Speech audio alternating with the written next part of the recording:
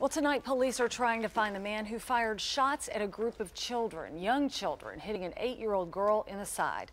She is recovering tonight and has a surgery scheduled to have the bullet removed. Channel 4's Anne McCloy spoke only with the child's grandmother, who was also injured in that drive-by shooting.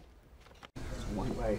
The bullets came flying when Lavenia Wilford was walking through the front door of her sister's house. When I felt something hit my back, and that's when I went to the floor. She'd brought her grandkids over to play with their cousins. Six kids were inside when bullets started blowing holes in the front of the home, at least a dozen. One went through the screen door, grazing Lavenia's back. Another struck her granddaughter, eight year old Janisha Lazardi. The shot went through her abdomen and stayed lodged in her little body. She could have got killed.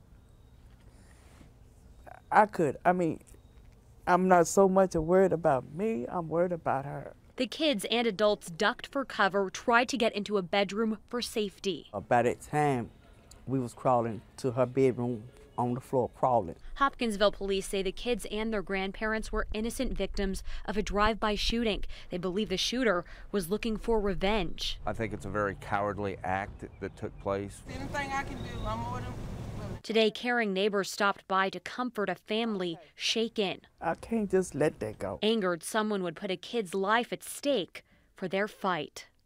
In Hopkinsville, Anne McCloy, Channel 4 News.